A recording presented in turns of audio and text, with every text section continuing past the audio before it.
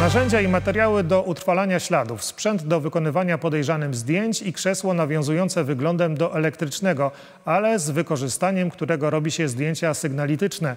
To i jeszcze więcej jest do zobaczenia na wyjątkowej, bo prawdopodobnie jedynej w Polsce ekspozycji poświęconej historii techniki kryminalistycznej. Taką wystawę otwarto właśnie w Komendzie Miejskiej Policji w Gliwicach.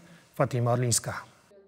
Każdy, kto kiedykolwiek zastanawiał się, jak wyglądają narzędzia pracy, które pomagają identyfikować przestępców, w jaki sposób pobiera się odciski palców i co mieści się w walizce do oględzin zwłok technika kryminalistyki, ma teraz możliwość przyjrzeć się temu z bliska. Mamy nożyczki, te termometr, tak jak widzimy, kombinezony jednorazowe, rękawiczki jedno, jednorazowe, wszystko to, co też za- zabezpiecza te technika. W siedzibie Komendy Miejskiej Policji w Gliwicach powstała ekspozycja, która przedstawia, jak na przestrzeni lat zmieniała się technologia wykorzystywana w technice kryminalistycznej. Pomysł jej powstania zainicjowało pytanie studenta kryminalistyki, a eksponaty gromadzone były przez 4 lata. Zdecydowana ich większość służyła technikom garnizonu śląskiego. Tutaj mamy to, to pomieszczenie podzielone na takie tematy, czyli w części jednej mamy sprzęt, który wykorzystujemy do rejestracji osób podejrzanych, mianowicie daktyloskopia i zdjęcia sygnalityczne.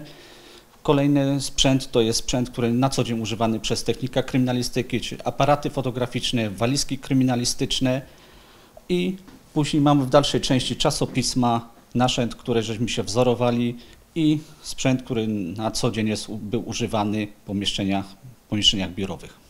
Aktualnie w Gliwicach pracuje 11 techników kryminalistyki, którzy jako jedni z pierwszych są na miejscu przestępstw i zbrodni. Jak sami przyznają, współczesna technologia nie tylko przyspiesza ich działania na co dzień, ale również czyni pracę ciekawszą. Tutaj są pobierane odciski palców oraz fotografia. Dzięki wystawie można dowiedzieć się, że pobranie takiego odcisku, opisanie i zapisanie go do bazy trwa zaledwie kilka minut. Na co dzień pracujemy na wszelkiego rodzaju y, proszkach daktyloskopijnych, y, jak argentorat, czerń, y, sadza. Y, Jest to nowy sprzęt, y, także tam znajdują się proszki fluorescencyjne, które weszły do polskiej policji jakiś czas temu. Dysponujemy na pewno dużo nowocześniejszym sprzętem niż miało to miejsce jeszcze na przykład 10 czy 20 lat temu. Staramy się nie pokazywać w jaki sposób ujawniamy i pracujemy, ze względu na to, żeby przestępcy też nie wiedzieli w jaki sposób ujawniamy po nich ślady.